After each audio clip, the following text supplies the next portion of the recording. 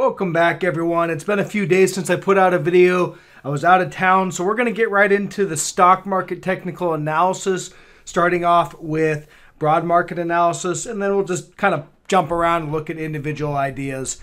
Starting off with the triple Qs. So, you know, more rallying today. The market continues to rally. Uh, we're above the recent highs here on triple Qs, which is 382.85 you can see that we're continuing to hold above there. So we, we are at all-time highs. Don't really have any reason to short the market right now. I don't. I can't make a. I can't make a case to be short. Uh, and I, you know, in no sell signals. Let's just put it that way. What couple things to watch is, you know, again, watch those former highs. Watch for a break back below those former highs, about 382.75. Uh, but until, as long as we're holding above that, you know, I wouldn't really be interested in shorting.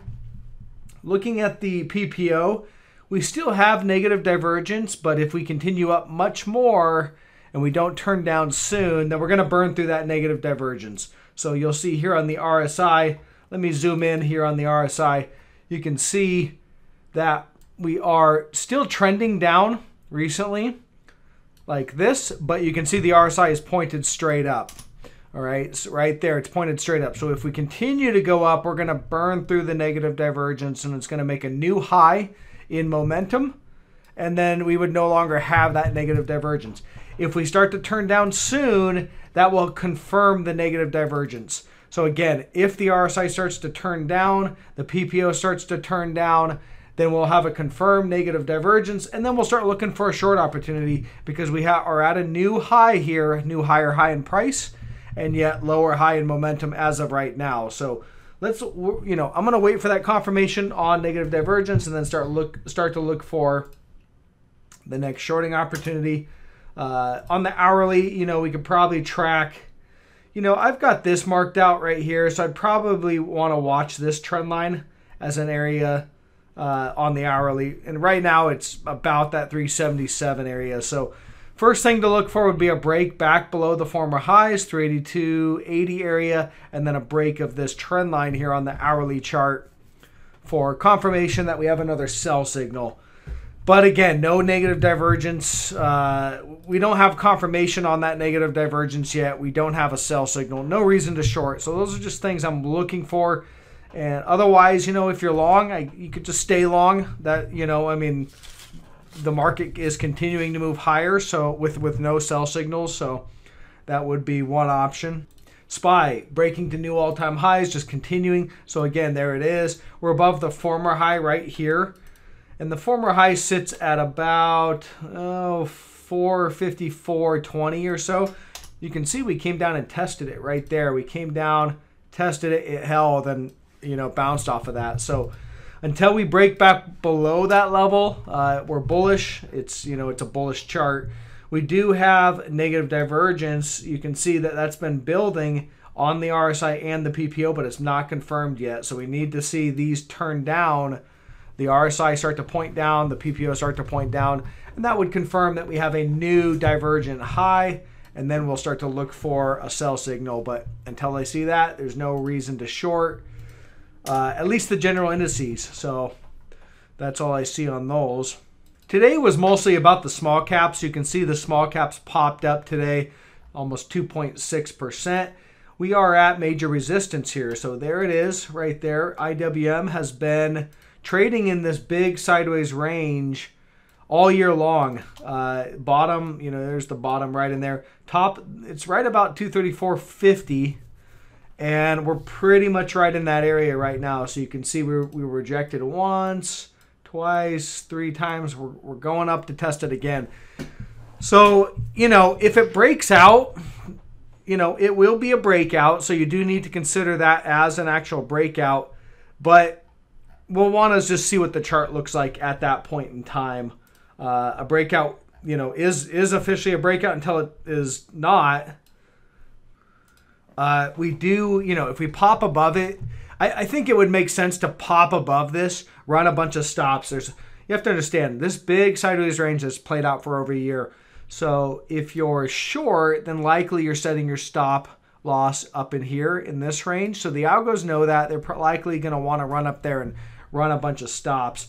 And if you're, and this is where, you know, longs that see this as a breakout will, will, you know, potentially pile in and take that as a breakout. So that's one thing to watch for. And then what I, you know, what I'd be more interested in is if we get that failure back into the range. If you fail back into the range, that's likely a false breakout or a bull trap, and then we are likely to head uh, much lower.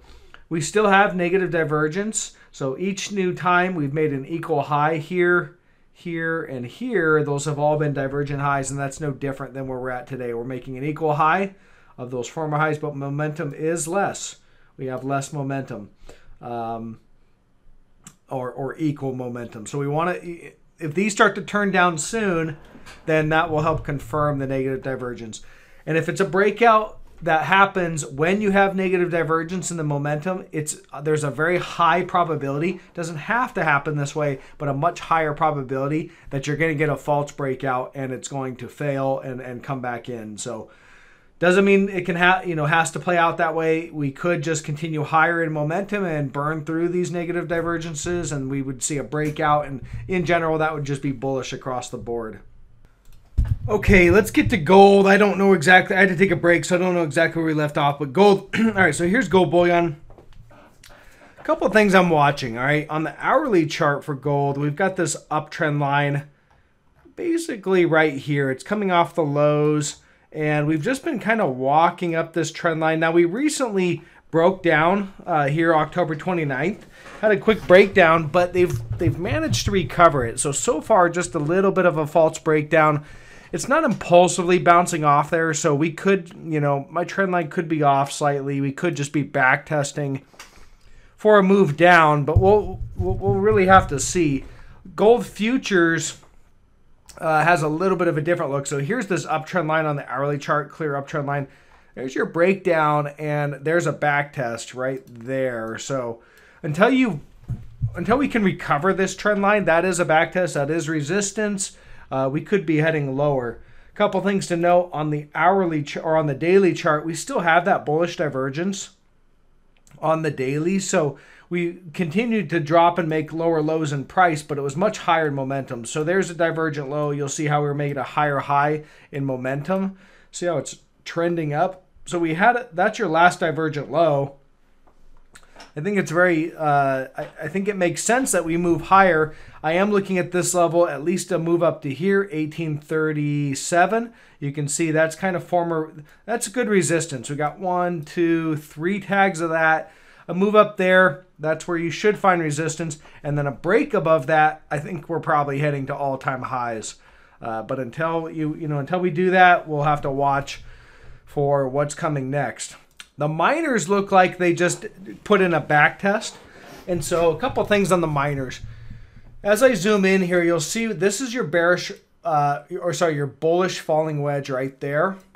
So you see that wedge pattern that we made. That's a falling wedge. And as we started to head down towards the bottom of the wedge, we put in bullish divergence right here. See the bullish divergence. And we got a breakout right there. So there's your breakout. We ran up. a pretty good size move from the breakout. You know, your breakout uh, was right there. And we ran up about six, you know, almost 7%.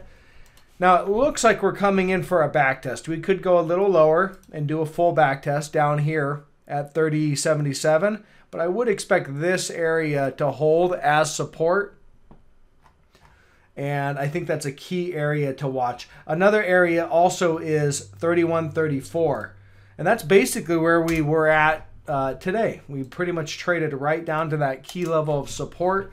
As I roll out on the daily chart, you'll see this is a key area of resistance back here once, twice, and then once we were above it, it's been support once twice, three times support. You know, a little bit of price action as we chop through it and run a bunch of stops.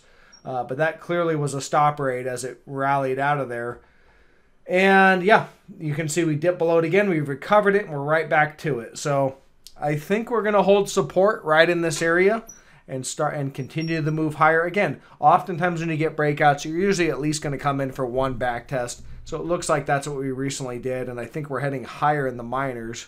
And just to look at Newmont, you'll see here kind of the same pattern. You've got this bullish falling wedge pattern with bullish divergence down here at the lows. So we are building that.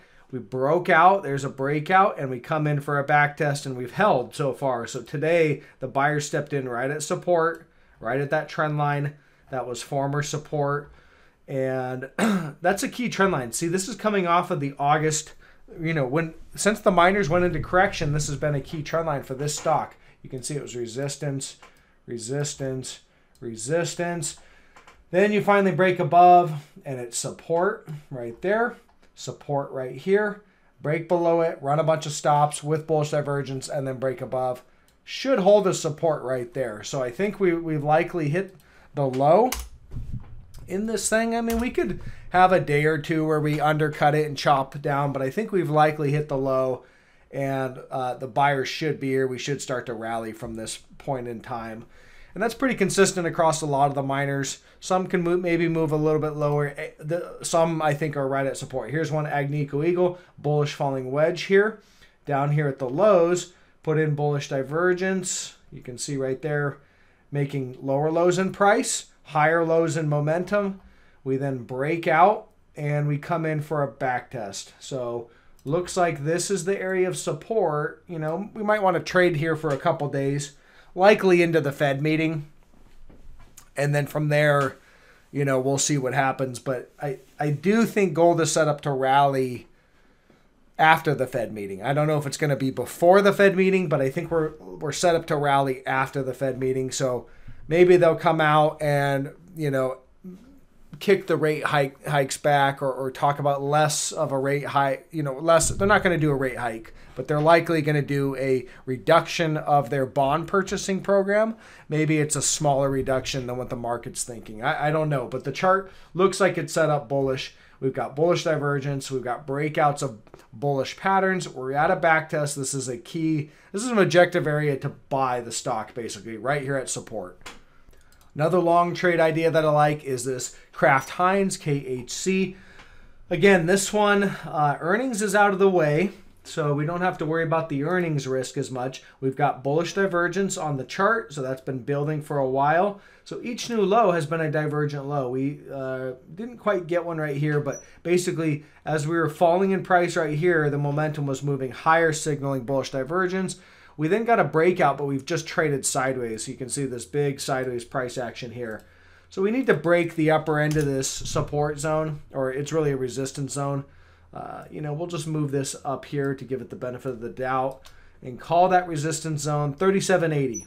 We'll break above that. I think it's likely we're off to the races to run up and do a gap fill all the way up here at, you know, 47 $48, somewhere right in there. Big gap from back in 2019 right there that has not been filled yet. So I think we're likely going to run up and fill that gap. Looks good so far. We're still holding, you know, uh, just trading sideways. Another long trade idea, LUV. This is Southwest Airlines. Looks like we've got a bullish breakout today. So we have bullish divergence on the chart. You can see that we basically recently made a new lower low right here, just dip below the former low back there. But see the momentum? how it's a higher low right here on the PPO, and it is a uh, higher low on the RSI as well. Also, they're they're turning up, so there's the RSI turning up, confirming that bullish divergence, and then the PPO starting to turn up. You want to look for a crossover uh, on the PPO. Look for these two lines to cross. Uh, again, if you don't have PPO, you can use MACD. Uh, they're very similar, but you want to see a crossover right there. That would help confirm we today, you know, looking at the hourly chart, we had a downtrend line here in LUV right there and looks like a pretty, you know, pretty impulsive breakout today. We've got some resistance right there at 49.24. So at this point in time, I would probably be looking to go long on a back test of the trend line. So let's say we sell down and hit this trend line, maybe even put in a new divergent low. But from above this trend line, that's an objective area to go long this thing, or if you don't get that and it wants to just break higher, I'd look for a breakout above 49.25 right there. A nice impulsive breakout that that um you know, you want to wait for that hourly candle to close above there and impulsively. So you can see that was kind of former. This is kind of a former pivot area there at 49.23. I think it's likely, you know, a move above there could be a breakout. We could be moving higher. So something to look for on that one. Again, not an area that I want to go long right here, but you know, if we were going to get that back test, I'd be interested in going along there or a break above. Okay, that's all I really have for today. I don't see anything else that's too too interesting. I uh, commodities. The I, I did look at some of the commodities. Wheat seems to be running. Corn looks like it's starting to run again. Commodities to me seem like they're likely in a long-term bull market. Gold has lagged that, and I know there's that's been all over YouTube about gold lagging, but I think gold oftentimes leads the commodities trade uh, and the inflation trade. It'll lead. So gold's just been in a, a bull market correction for the last eight months or so, uh, and I think it's likely going to come out of that correction and lead the next leg higher. I don't know for sure, but as far as I can tell, the charts are still set up bullish. So as long as they remain bullish and nothing changes in the charts, I, I still think that's likely the best trade uh, going into the end of the year. Is is uh, gold gold mining long trade, and again, everything in this channel is just my opinion. No recommendations here. It's just what I see in the charts and how I'm trading it. So thanks, guys. Leave me a thumbs up on your way out. Check out the stock market technical analysis course, link in the description below, and I will catch you guys on the next one.